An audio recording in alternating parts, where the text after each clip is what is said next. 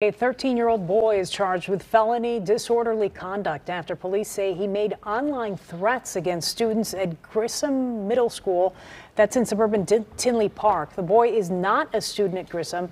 Police say he gained unauthorized access to a student's social media account and likeness.